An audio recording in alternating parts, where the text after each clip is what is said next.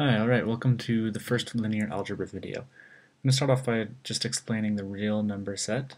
Um, the set of real numbers is denoted by this symbol here. It's kind of like an R with an extra little backbone on it. And so the real numbers are, let's see, basically any number that you can imagine that would go on the number line. So we'd have 0, and then all of the positive numbers, 1, 2, 3, all the way up to infinity. And then we'd have all the negative numbers, negative 1, two, three, all the way down to negative infinity. And then we have everything in between. So we could have, let's say, um, 1 half, we could have negative 2.113, you know, we could have pi. So I think you get the point. It's basically any number that you can think of. Now, if we wanted to draw a vector in on the number line, we would have to say our vector v is equal to uh, some value x, right? And so say if that value we chose, this can be any number, so let's choose the number 2. So we can start at 0, and we'll draw our vector here. And so we'd say our vector v is equal to 2. Now, um, you'll remember from high school that a vector is just anything with a direction and a length. So here our length is 2 and our, we're going in the positive direction towards positive infinity.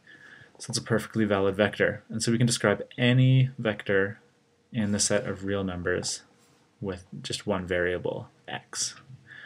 So now, however, some, if we want to draw a vector in two dimensions, we'll draw it in R2, which denotes uh, the set of all vectors with two components. So that means that we have the same axis. We'll call this the x-axis. And then we'll add the second dimension, we'll add a y-axis. That's the y-axis there. And so we'll have the same values here. It's all set of all real numbers, so we can have 1, 2, 3, and so forth. Negative 1, negative 2, negative 3, and y will be exactly the same, just on the y-axis So we'll have 1, 2, 3, all the way up to infinity, and 1, 2, 3, all the way down to negative infinity. And now if we want to draw a vector in two dimensions, we'll say our vector, let's call it vector u this time. We'll say u, so this is describing any vector in R2, would have to have an x component and also have to have a y component, right?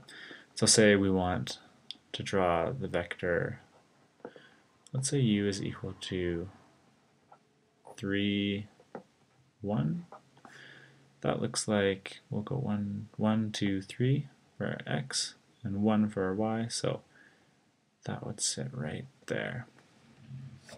Perfect. So now also we live in a three-dimensional world, so if you'd like to draw a vector in three dimensions, we would enter R3, which is the set of all vectors with three components. And so we do it much in the same way. We draw axis, and we'd add a third dimension. Well, that's not very centered. Well, a third dimension going through the origin. And so let's call this one x, let's call this one y. We'll call this z. And so now if we want to draw a vector in three dimensions, let's call it vector w.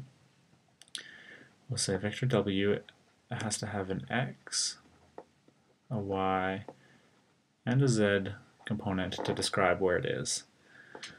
And so let's say vector w is equal to, oh, let's say 3, 3, 4.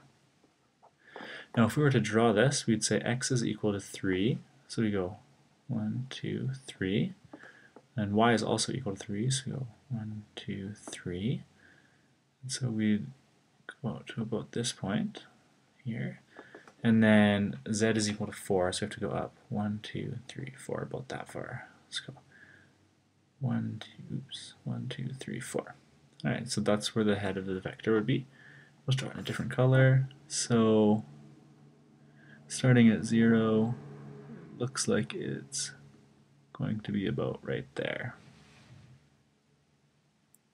Oops, my pen's not working. Right there. So you, you get the idea. It's not a very not a very good drawing, but you see that In R3, we have a vector with three components, and it's in three-dimensional space. In R2, we have two dimensions, two components.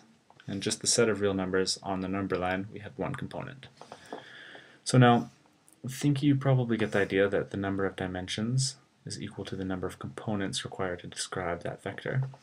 So in linear algebra, we go past the three dimensions dimensional space, though we go into well, we can go into R4. This is a set of vectors that have four components. So to describe any vector in R4, we could say x, y, z, and make up another variable. Let's just say w, even though I used yeah okay I just used it anyways. But or you know for maybe a little bit cleaner looking, we could say x1, x2, x3, x4. So here we have four components in four dimensions. This describes any possible vector you could ever think of in R4. And so say if we wanted to pick some vector, oh, whatever, let's use v again, in R4, any vector, we could say it could be 1, 1, 2, negative 1. And that could describe a unique vector in R4. And now we can go up, we can go to R10, R100, R1000, and I think you can probably guess maybe R1000 would have 1000 components.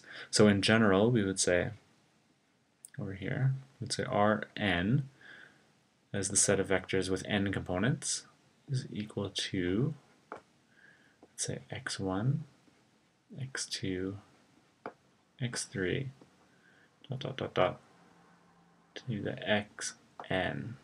So we have n dimensions, and we'll have n components.